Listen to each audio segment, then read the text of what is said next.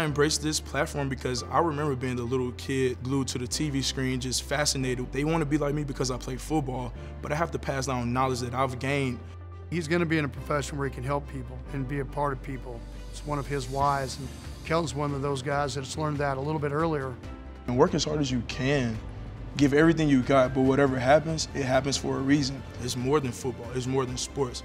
The world is ours. We just have to go get it.